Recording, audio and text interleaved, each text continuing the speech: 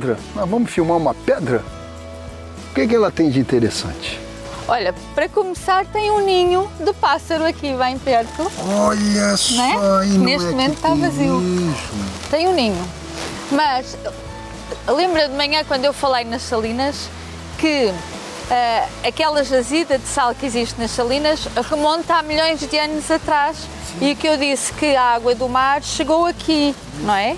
Então, é aqui que nós temos a prova que existiu nesta, nesta região do território português vida marinha, porque nós temos aqui esta pedra está cravejada de fósseis. Olha, temos aqui as espinhas de peixe, muitas, temos conchas, temos búzios. Então, esta pedra de alta a baixo está cravejada de fósseis que provam que há milhões de anos atrás existiu mar, existiu aqui vida marinha. Realmente, olha só. Você vê e sente. Agora, do outro lado desta pedra, eu vou mostrar um painel de azulejo que representa a nascente, ok? Agora vou mostrar este painel. É uma representação da nascente das Alcobertas, como era antigamente. E então eu vou mostrar daqui. Temos então a nascente que tinha mais água, não é? Do que tem hoje. Temos a senhora que vem lavar a roupa à beira do rio. Temos uma junta de bois com uma cisterna que vem recolher também a água. Temos uma senhora que leva o cântaro à cabeça e temos ainda aqui deste lado um burro com as bilhas do aguadeiro, porque antigamente havia um aguadeiro que era o senhor que ia de porta em porta, de casa em casa, com bilhas, levar água às pessoas. Dificuldade que se tinha né, antigamente, o trabalho também é, para se ter água em casa. Nós agora valorizamos tão pouco, Nossa senhora, agora acaba um pouco de água, a pessoa fala assim, olha, para ter água você tem que ir ali buscar uns baldes de água.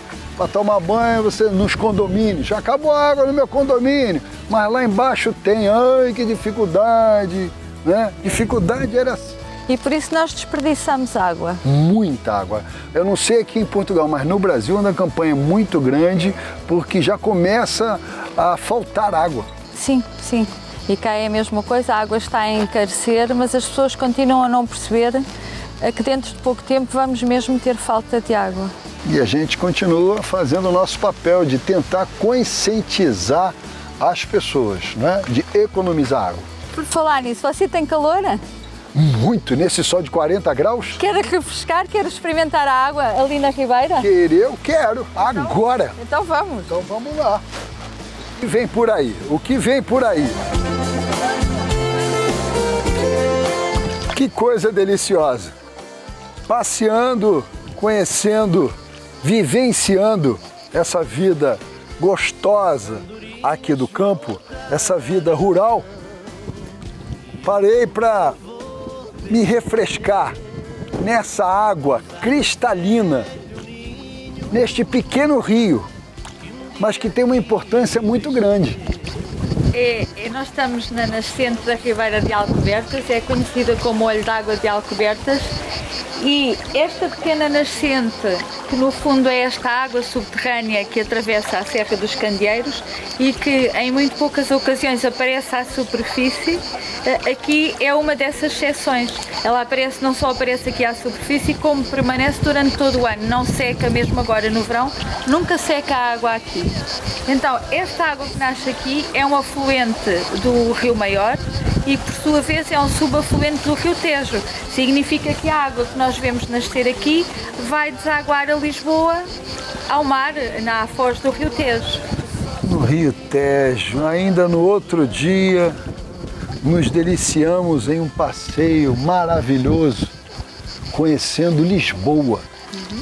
É, foi também muito importante, ainda é, mas foi muito importante quando ainda não havia água canalizada em casa das pessoas, nestas aldeias serranas, ah, em chãos onde nós almoçamos. E então as pessoas vinham aqui abastecer-se de água também, andavam quilómetros a pé para vir aqui à nascente, traziam o gado a beber E ainda hoje é possível encontrar aqui senhoras que lavam a roupa na nascente, eh, que põem o termoço de molho aqui também. Eh, e de resto é abastecimento para as cisternas agrícolas e para os próprios bombeiros, quando há incêndios, os bombeiros também podem abastecer aqui. A importância de um pequeno rio, uma nascente, que tem para uma cidade, uma vila, uma aldeia. Mas tem mais. Assim é Portugal. Eu parti sonhando, mas foi tudo em vão. Voltei sem felicidade, porque Essa igreja aqui, como se chama? Esta é a Igreja de Alcobertas, é a Igreja Paroquial da Vila de Alcobertas e temos aqui um monumento muito especial, que é este monumento em pedra onde nós estamos, que é uma anta. Uma anta é um monumento pré-histórico. Esta anta poderá ter entre 5 a 6 mil anos de antiguidade, sim, é Nossa. muito anterior a Jesus Cristo e era um monumento funerário que servia essencialmente para enterrar os mortos. Ah, este é um dos 10 maiores dolmen da Península Ibérica e é um monumento de características únicas em Portugal porque foi-lhe adoçada a Igreja Matriz, ou seja, ah, a igreja, quando foi construída, foi acoplada ao próprio dolmen. Então, a entrada do dolmen ficou virada para dentro da igreja. A única maneira que nós temos de visitar o interior do dolmen é entrar nesta igreja paroquial de Alcobertas. Para percebermos melhor, estes monumentos eram ah, feitos com pedras, com enormes lajes, aquela laje que vimos há pouco no olho d'água com aqueles fósseis, é assim uma laje enorme ah, e que eram trazidas da, da serra. As paredes do dolmen eram colocadas, as, as lajes ao alto, como se fossem peças de dominó, encostadas umas às outras, e a cobertura era uma laje colocada na horizontal. Hoje a cobertura já não é a original, porque temos uma cobertura já de telha e temos uma cúpula com uma clarabóia que vamos ver no interior.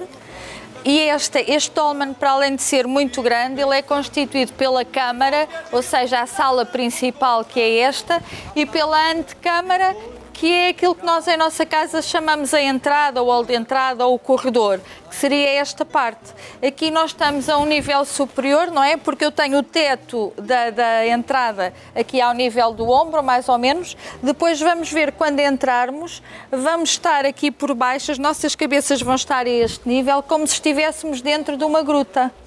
Então, a entrada do dolmen ficou virada para o interior da igreja quando a igreja foi construída.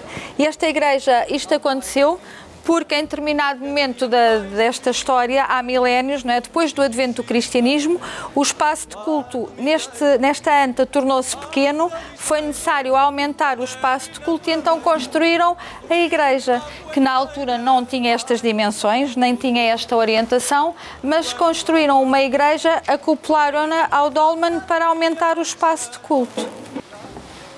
Já estamos dentro da igreja e aqui é a entrada que você tinha nos dito. Exatamente. Lá fora estava o teto, estava assim à altura do meu ombro e agora estamos quase que dentro de uma gruta, não é? Então, esta é a antecâmara, é a entrada e esta sala principal é a câmara da anta, ou dolmen. Aqui conseguimos individualizar estas pedras, chamam-se esteios, cada pedra destas é um esteio que forma as paredes. Temos esta cobertura que já não é a laje original, não é? já foi rebocada, pintada, Ah, mas de qualquer forma é muito interessante porque há muitos monumentos antigos que foram abandonados com o advento do cristianismo. Neste caso, houve uma adaptação não é? para a, a cultura cristã, para, esta, hum, para o cristianismo, e as pessoas continuaram a, a frequentar este lugar de culto até hoje, até aos dias de hoje. Transformou-se, passou de ser a, a capela, o lugar principal de culto, e transformou-se hoje numa capela lateral da própria igreja paroquial. E aqui você sente uma paz assim, Sim. coisa diferente. Bonito, parabéns. Programa Sem Portugal, viajando cada vez mais na história, e que história, hein? milênios e milênios e milênios de anos. Mas tem mais em Rimael. ceifas de cheiro flores do antigo verde pinho.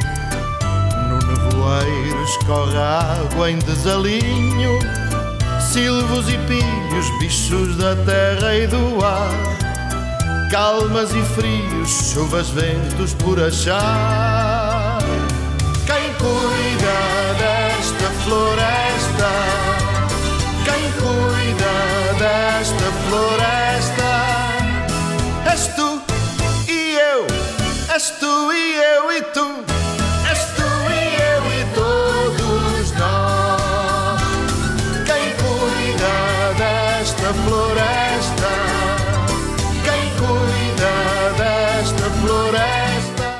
Esse é o famoso pão de ló de Rio Maior. Em Exatamente. Rio Maior também tem um pão de ló. Tem um pão de ló há muitos anos. É a receita mais famosa do Conselho é um pão de ló maravilhoso que tem o ló no meio. O ló é este creme de ovo todo aí no meio que fica bem macio.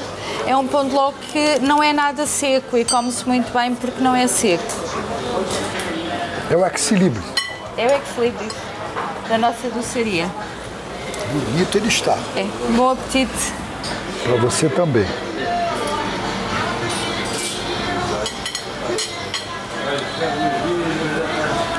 Hum, tá tão bom que eu quero mais.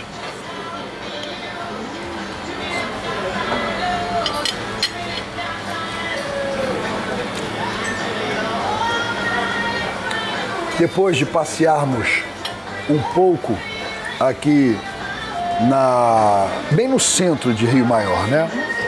Lindos jardins, chafariz, uma urbanização espetacular para É. você passear. É.